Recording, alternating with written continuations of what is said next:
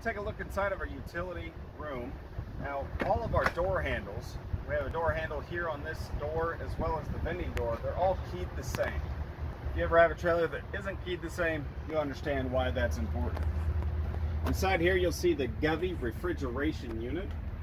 That Govi unit was designed in Germany and is built specifically for trailer mobile refrigeration units. Runs off of 110 volt, 15 amp service. Over there we got our power center. That power center does both 110 volt and 12 volt. It also has an onboard charging system, so it will keep the battery charged and full so you can use that tongue jack. We do have an onboard battery.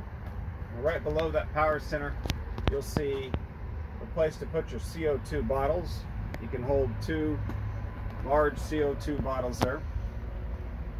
Now by keeping the CO2 outside of the refrigerated room, you're able to use a lot more of that CO2 than if it was in the refrigerated room.